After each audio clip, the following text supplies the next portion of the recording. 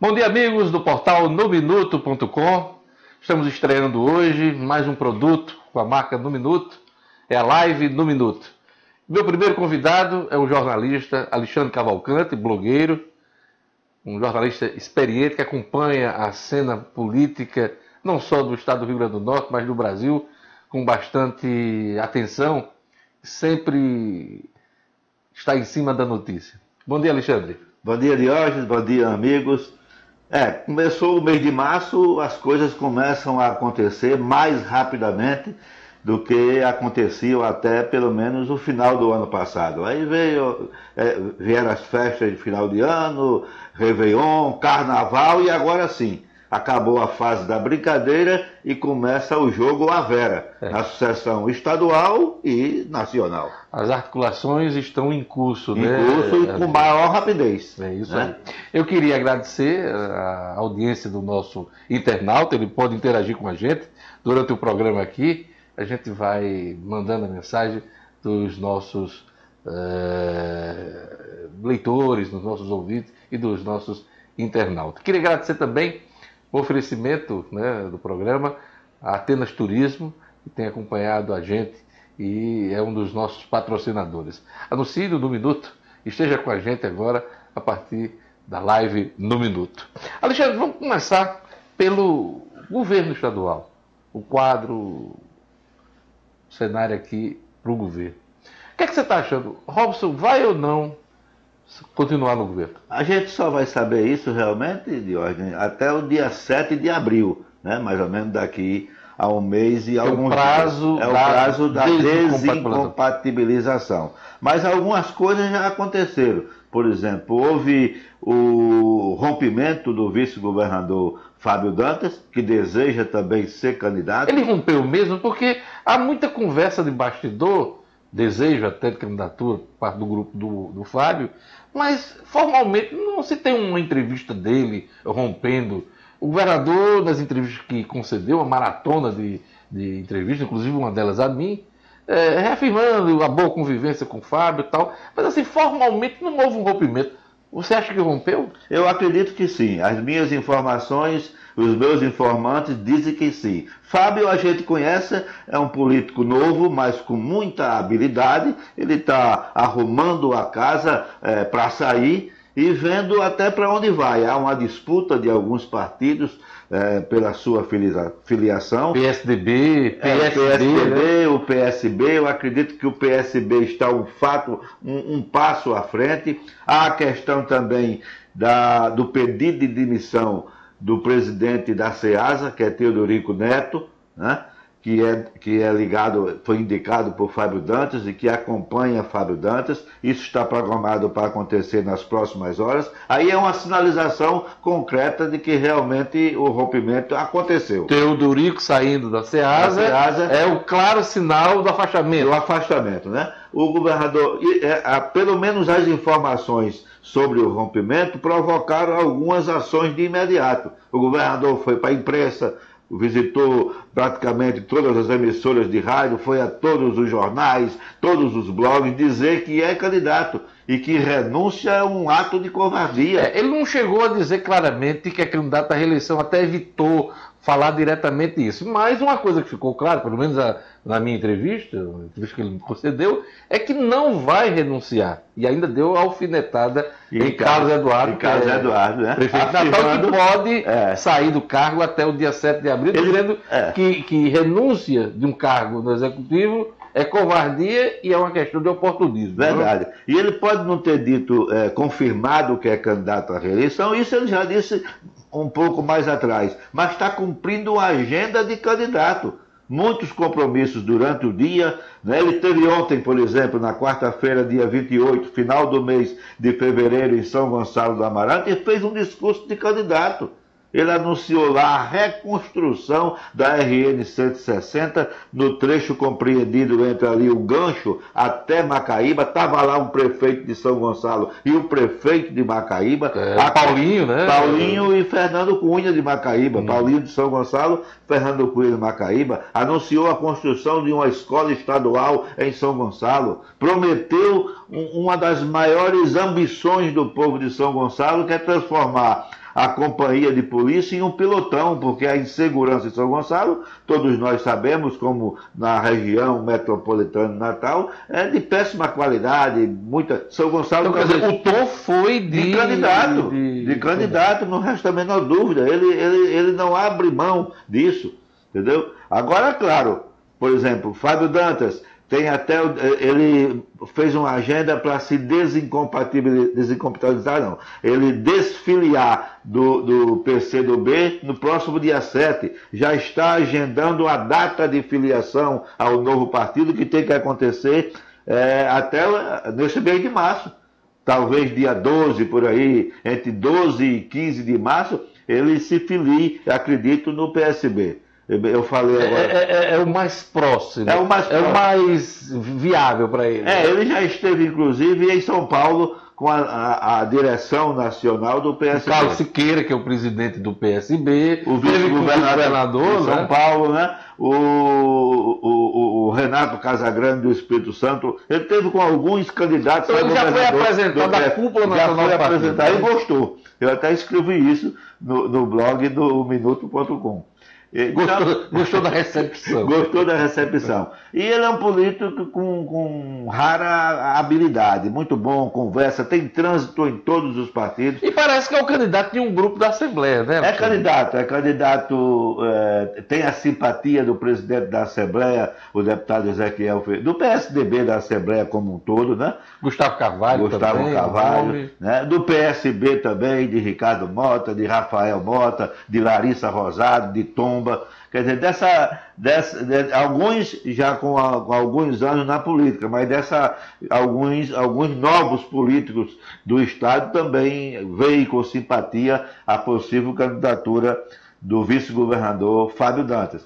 E, e, tem uma história até que Ezequiel estava querendo fazer uma grande festa com mais de 80 prefeitos para receber é, um ato de filiação. Teve uma informação que até eu achei assim. É, é, é muito contundente, né, até para o momento político que nós, que nós estamos vivendo, de que o presidente estaria oferecendo 89 prefeitos e mais. Eu acho que foi, foi, foi passou, passou do limite aquela informação. Mas na realidade, nesse Você momento.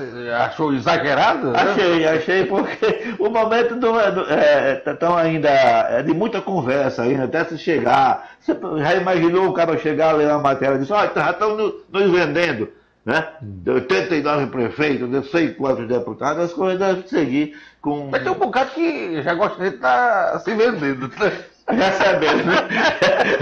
Eu queria mandar um abraço para turma. Conta.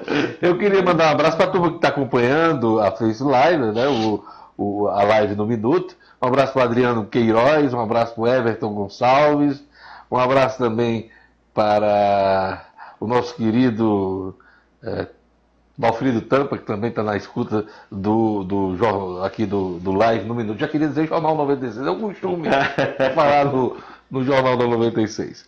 É isso aí. Deu, eu queria... Agora eu acho, por exemplo, só hum. para concluir é, é, esse assunto, eu acho que a coisa mais traumática dentro desse movimento que está acontecendo seria a, a, o isolamento desse grupo ao senador José Agripino, porque me parece. Mas isso tá... para o Senado, né? Antes de falar é. do Senado, eu queria que a gente esgotasse um pouco mais essa questão das candidaturas. Né? Nós temos aí uma situação de Robson não querer renunciar, né? vai tentar viabilizar a candidatura, apesar de alguns riscos que ele, que ele sofre, né? do ponto de vista eleitoral, do ponto de vista do desgaste de governo e até jurídico.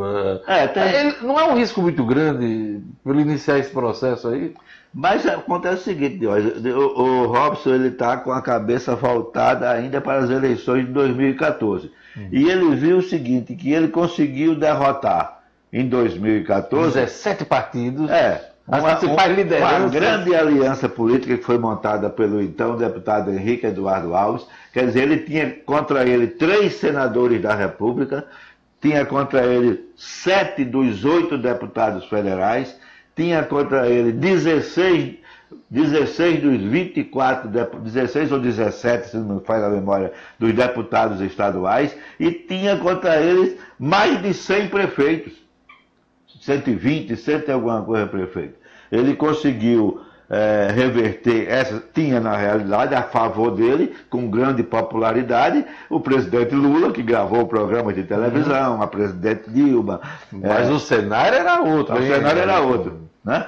Mas ele está muito confiante no poder de convencimento dele para destruir esta organização que Mesmo diante do desgaste que sofre por causa de, de, atraso de folha de servidores, mesmo com essa sensação de insegurança, ele que vendeu essa imagem do governador da segurança é, pública. Como ele tem, como, é, como ele, ele tem dito, Diógenes, que foi o melhor governador da segurança pública de todos os tempos. O que ele fez na, na questão da segurança pública fez mais do que todos os outros governadores que passaram pelo Rio Grande do Norte. Na educação, da mesma forma, na saúde, do mesmo jeito, recuperando sete hospitais regionais, construindo outros quatro e mais não sei o que. Quer dizer, ele está com esse discurso que é um discurso de candidato, né? Ninguém sabe se vai dar certo. Você tem que combinar com, igual aquela história de Garrincha com Fiola e coisa e tal. Ah, Garrincha, você pega a bola, vai, chuta no canto que o goleiro não tá. Aí ele diz, mas Treinador, o senhor já conversou com o russo? Quer dizer, tudo. já combinou com o russo? Já combinou com o russo, para você já aceita, eu vou passar para todo mundo e chutar em gol? Olha aí, o nosso, nosso internauta João Cabral está mandando uma mensagem aqui para a gente dizendo: Fábio Dantas está com todo o gás. Já botou o carro na rua, pelo andar da carruagem, já conta com mais de 50% dos deputados da Assembleia a confirmar. Digo, só quem não sabe é Diógenes Dantas. Eu estou sabendo agora que você está me dizendo, meu Cabral. Ainda bem que você está participando do, do programa. Ele está dizendo aqui, está mandando um abraço para todo mundo. E o Júlio Cavalcante diz aqui, parabéns, Diógenes, Alexandre Cavalcante, dois ícones do jornalismo. Existe o nosso internauta participando da live no Minuto, esse, esse novo produto do portal no Minuto. Anuncie com a gente, hein? Faça com Atenas Turismo, 3221-2626. Está com a gente aqui, patrocinando o, a live no Minuto. Na realidade, Fábio Dantas ele tem uma simpatia muito grande da Assembleia Legislativa. Ele foi deputado, né? A mulher dele, é, Cristiane Dantas, é deputado. Eu até perguntei a um, um deputado, eu me quem é que apoia aqui é, Fábio, ele me disse, rapaz, você precisa saber quem é que não apoia. Quer dizer, né? É que teria Mineiro, que não é do PT, que seguiria com a candidatura de Fátima, né? Que é candidata é, ao, ao, governo do Estado, você teria aí, se houvesse isolamento do Zé Agripino, que mesmo assim eu ainda acho que, que essas coisas não são fáceis. Para claro. Garibaldo chegar lá e dizer, ah, José, tudo bem, nossa aliança terminou e. Mas é isso, vamos deixar o Senado aqui para a sequência. Eu queria esgotar a parte do governo com mais duas coisas. Primeiro, Carlos Eduardo renuncia ou não? Isso é importante saber porque a conversa entre Garibaldo ou do MDB com o Fábio Dantas numa possível articulação de chapa com Rosalba e o Luiz Barcelos. É esse nome, essa figura, esse empresário da agrícola famosa que surge no cenário uh, das chapas majoritárias. E eu queria também saber, Fátima, ninguém está falando muito em Fátima Bezerra. Né? Se fala muito em Fábio Dantas nesse momento, Robson Faria, uh, fala-se muito em Carlos Eduardo, mas está correndo. Lembrar que Fátima é líder nas pesquisas, pelo menos a, até as últimas pesquisas, está liderando a disputa para o governo. Eu queria que você analisasse. Estrategicamente, esse... Fátima está gostando muito disso. Está hum. todo mundo discutindo Robson Faria, Fábio Dantas, Cláudio Santos. Estão deixando ela correr solta. E ela está correndo solta, e é líder das pesquisas. Ninguém está contestando nada que ela diz, ninguém está contestando os votos dela é, no, no, no, Senado Federal contra a intervenção no Rio, contra o, a, o que está se fazendo para tentar reverter esse quadro de insegurança em todo o país. Ninguém contesta nada do que Fátima está fazendo, ou, ou contra ou a favor, mas pelo menos para se discutir a, as ações dela como senadora da República. Ela, tá, ela agradece acha isso espetacular. E as pessoas passam a discutir essa questão da candidatura de, de, de Robson Faria, a desincompatibilização ou não do prefeito Carlos Eduardo. Eu já ouvi segmentos que afirmam com absoluta é, firmeza que ele não deixa a prefeitura. Hum. Né? Outros setores já dizem, ah, vai ser candidato, já ouvi. Há uma incógnita. Ah, é, até dia 7 de, de, de, de, abril ele vai permanecer de, desse jeito. A interrogação sobre Carlos é, Eduardo. Ele dá a entender, pelo menos nas entrevistas que ele me concedeu recentemente, ele dá a entender que vai ser candidato. Agora, muita gente diz que não. Aí fica essa dúvida e é. nem Garibaldi sabe exatamente o que é que o primo dele vai fazer. O argumento das pessoas que acreditam que Carlos Eduardo não vai deixar a prefeitura é simples. Ele acha, por exemplo, que na prefeitura ele vem fazendo uma administração é, aprovada pela população de Natal, mas lá ele não paga Tribunal de Contas, ele não paga é, Tribunal de Justiça, ele não paga Ministério Público, ele paga. Quer dizer, esse, esse, esses poderes. É, representam aí um déficit de 120 milhões mensais para o governo do Estado. Assembleia Legislativa, eh, Tribunal de Justiça, Tribunal de Contas e Ministério Público. São 120 milhões de reais de, de, de, despesa que o Estado tem que arcar. E ele, por exemplo, está com salário em dia, já teve atrasado, colocou em dia, vem mantendo, mas no governo do Estado ele sabe vai pegar aí um abacaxi para descascar, né? Então as pessoas argumentam que ele não vai deixar essa tranquilidade para, além de correr o risco de uma eleição, que ninguém sabe quem é que ganha, ele pegaria um Estado aí é, quebrado. Né? Esse, esse, é o argumento. Esse é o quadro, né? Então, hoje, rapidamente, quem você aposta na disputa para o governo? Eu acho que Fábio Dantas é candidato, hum. né? A questão de Robson Faria também é uma questão unilateral. A renúncia, não sei se ele tem. Eu cheguei a noticiar que ele é. deverá disputar a Assembleia Legislativa, uma cadeira é. da Assembleia Legislativa. Você viu também, você teve aquela época que no blog de Noblar ele, ele, ele, ele anunciou a renúncia de Temer e está aí até hoje, né? É, é. Então é uma coisa que a renúncia é um gesto unilateral, só quem sabe é ele próprio. Carlos Eduardo também é, é uma, é uma incógnita. É uma incógnita. E Fátima uma certeza. Fátima é certeza. Entre os, entre os nomes mais importantes, né? É, mais importante. Temos o Robério, o Robério do Paulino do Pessoal, que deverá estar na disputa, teve uma participação importante, foi o terceiro lugar, Roberto, né? A gente não pode esquecer isso. O Roberto foi o terceiro na disputa de governo Ele teve da até um eleição, tom, né? um pouco adoentado, e aí parece que a família o, o convenceu de que ele não deveria Tem participar. Está sofrendo uma pressão muito forte para não ser candidato não ser majoritário. Uhum. E na última entrevista que me concedeu, falou que pode ser candidato à Assembleia Legislativa, Roberto é, Paulino, né? Foi muito bem votado é. Foi inclusive quem levou a eleição para o segundo turno. Pois é. Eu queria, agora entrar no Senado, né? Que é. você estava querendo é, é, falar. Zé Agripino está numa situação, é, pelo menos das notícias de articulação nesse momento, de isolamento. Você acredita que isso pode ocorrer? Não é fácil, não. Né? José Agripino prefeito de Natal, duas vezes governador do Estado. Se eu não me engano, é o quarto mandato Quatro senador. vezes senador da República, tem uma, uma posição firmada no Estado. Né?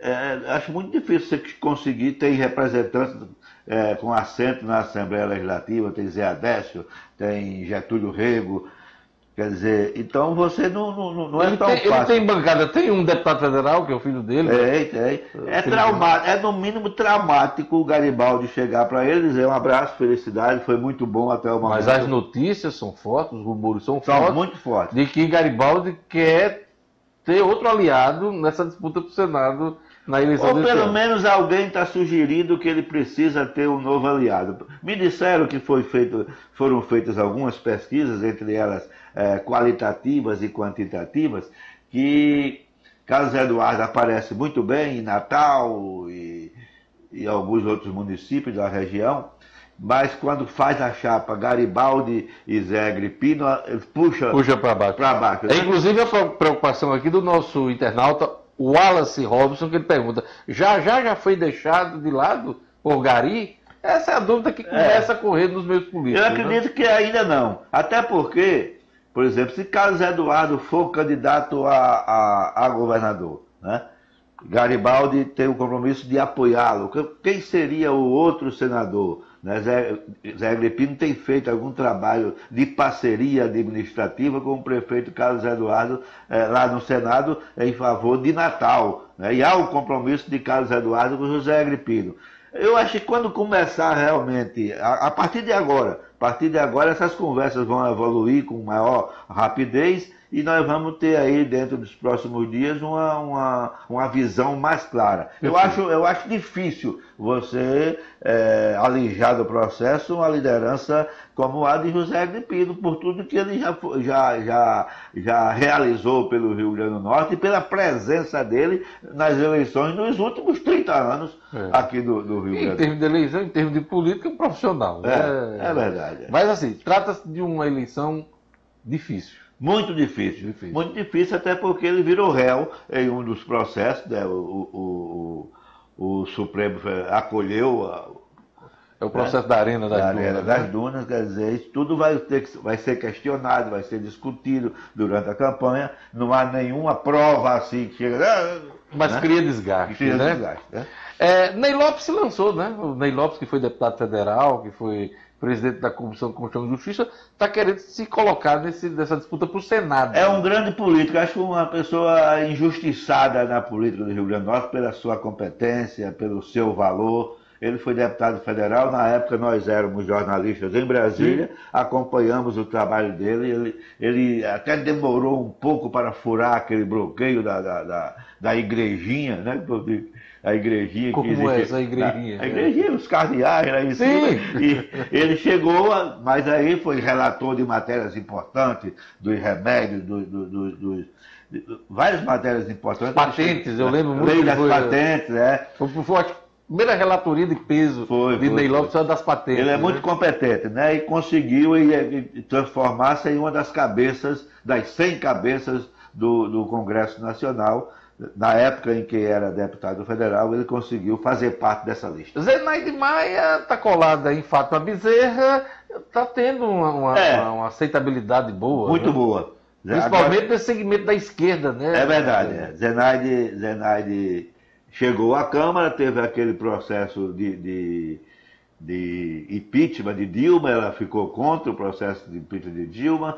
Né? Aliás, foi a única, né? a única da bancada do Rio Grande do Norte a ficar foi, contra, foi, né? Foi, foi, Agora, agora, recentemente, ela discordou do voto do PT, que o PT foi contra a intervenção no Rio de Janeiro e ela votou favorável na Mas Câmara, as né? principais pautas da esquerda ela ficou tem, tem, tem. contra a reforma trabalhista, né? E tem, e tem, e tem aparecido muito bem né? É. levantamento que Ela ainda está no PR, já escolheu outro Ela partido? ainda está no PR, né? Mas deve agora nesse mês de, de março é, ver qual, qual, é o partido. Ela que é irmã, irmã de João Maia, irmã né? João Maia, João Maia é, é candidato. Ex-prefeito São Gonçalo Jaime Calado. Ela, é, João Maia é candidato. é candidato a deputado federal, né? Quer, quer ser candidato a deputado federal teve alguns problemas de saúde, teve está se recuperando, não é, não bateu o martelo ainda sobre a sua candidatura a deputado federal, mas tudo indica que deverá retornar à Câmara.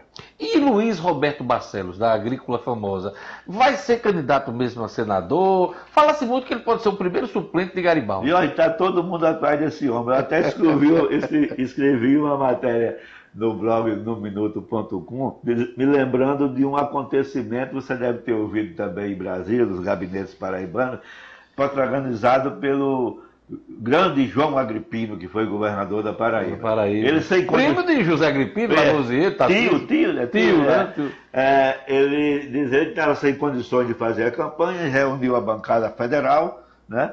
Com o nome de um candidato a senador, que muito rico, empresário. A diferença é que era empresário paraibano que tinha vencido no Rio de Janeiro. Um homem com duas formaturas nos Estados Unidos, esse candidato é uma em Oklahoma e outra em Nova York. E ele disse, olha, os problemas financeiros da campanha ficam resolvidos com a participação desse candidato. Inclusive, a, a, a despesa da campanha de deputado federal, né? Eu queria ouvir a opinião de vocês. Aí se levantou Chico Pereira, que era do Brejo, ele disse, governador, eu não sei na reunião, na, na, região dos meninos aí, agora na minha região só se fala desse homem. Ele não sabia nem quem era, mas estava pensando... É um pouco que está acontecendo com, o Luiz Roberto Barcelos, que é empresário... Demetrio, é, o, o Barcelos, eu, eu não conheço pessoalmente, mas é o proprietário da Agrícola, Agrícola famosa, né? Uma das maiores empresas de exportação de frutas. E que está fazendo esse movimento por um... Se nova ética da, da, da, política, ele junto com o Tião do Couto de Mossoró, com Flávio Rocha, com, com Marcelo Alecrim, né, vários empresários que estão nesse movimento.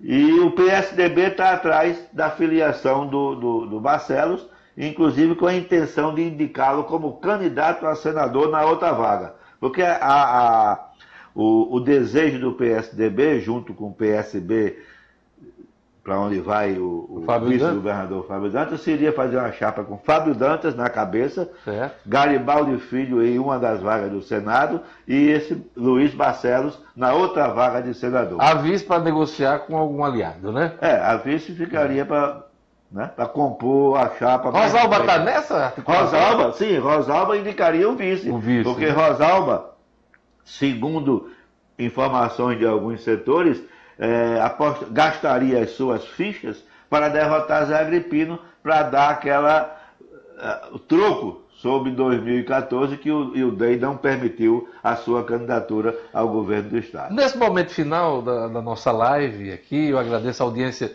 do nosso internauta que está acompanhando aí esse bate-papo sobre a política do Rio Grande do Norte. Eu queria falar um pouquinho de política nacional. Nós temos hoje o Temer, é, a informação de que o Palácio Planalto garante que vai ter um candidato da base do governo, pode até não ser o presidente Temer. Isso dá uma esperança para o Henrique Meirelles, né, que está querendo ser o candidato do MDB, né, é, para defender, inclusive, o governo. Ele cuida da, da política econômica, Alexandre. É, se esse governo der certo, né, economicamente, se essa questão da segurança pública no Rio, que é o, que é o, é o espelho para todo o Brasil, né, der certo, o candidato é o Temer. É. Porque ninguém vai. Que sempre quis, porque se não fosse a questão do Joesley, aquele escândalo do ano passado, Temer teria passado a reforma da Previdência era, era. e seria candidato hoje, não tenho dúvida disso. Mas, mas não sendo Temer, quer dizer, eu não sei, se, é porque o governo não deu certo. Aí eu não sei se alguém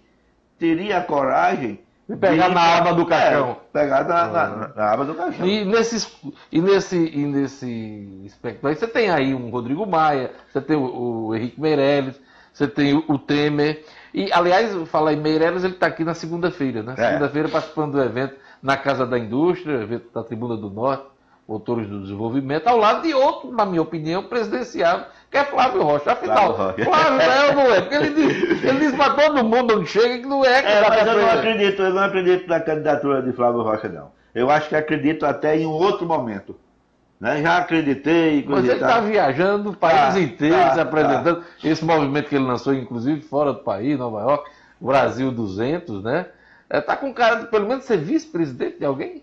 Não, acho que ele não seria vice, não. Eu acho que ele vai ficar é, numa posição de importância como líder desse movimento da classe empresarial e em um momento seguinte ele poderá pleitear a presidência da República.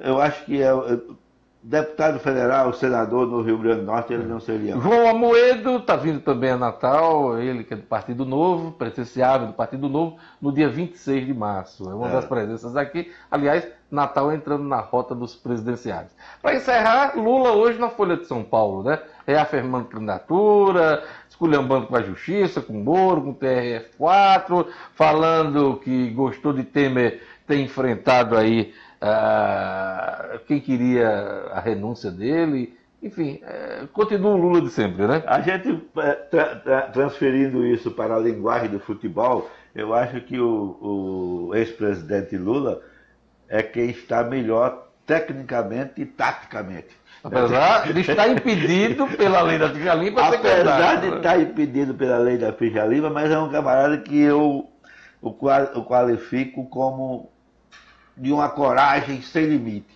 Porque, porque... A manchete da Folha é eu vou brigar até ganhar, diz Lula sobre a candidatura dele. Né? Ele vai estar dizendo que, que, que Sérgio Moro né, é, é, faz parte do esquema americano para tomar o Minha petróleo no Brasil, vai não sei o coisa e tal. Ele tem uma capacidade muito grande de tentar, eu não sei se vai convencer, mas de tentar convencer a sociedade. Eu, eu converso muito com pessoas com pessoas de um nível é, simples, de né? informação inferior ao nosso e que pessoas simples, honestas, e que vem Lula, olha, isso é sacanagem que estou fazendo com o Lula aí. Não acredita que. Não acredita que ele tenha botado a mão em um tostão que não seja o dele. Entendeu? Não há possibilidade. Então eu, eu não sei se essas pessoas é, são maioria no Brasil ou não, mas a candidatura dele, se deixar de ser candidato, é muito forte.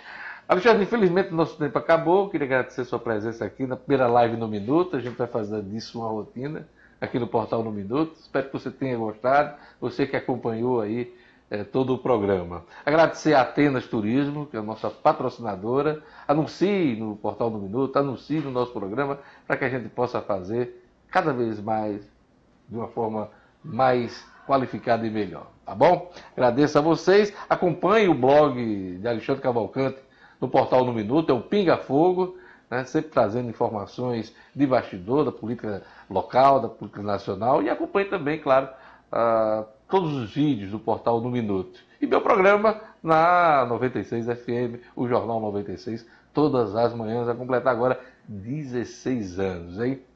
Obrigado por sua audiência. A gente volta em outra oportunidade com a live no Minuto.